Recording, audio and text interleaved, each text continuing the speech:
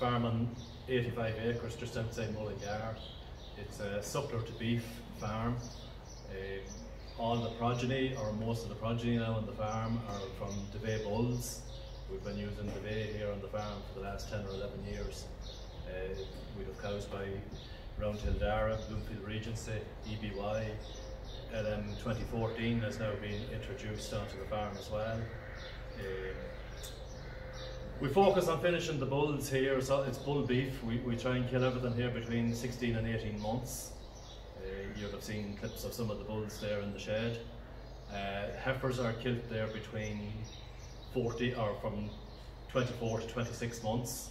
Uh, we'd select some of the Limousins there for keeping on to breed off again. Cow type on the farm is, is mainly Limousin, but we have blues and we have some Simmental.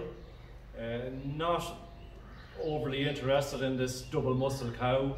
I look for a cow, a bit of size, a bit of length, nice bit of width. Uh, good or great animal will, will do me.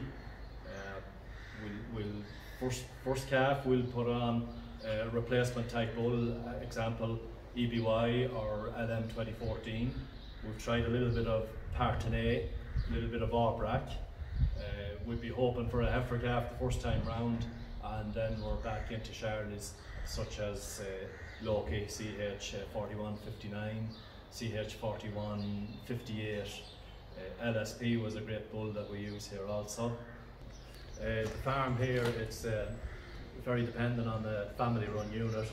As I work as a technician for Dovea, now the 10th of June, so we've just come through the busy season. The bulk of the work would be in the dairy end of it. Would have uh, 12 or 14 suckler farmers there. Uh, they are kind of working away here now at the minute.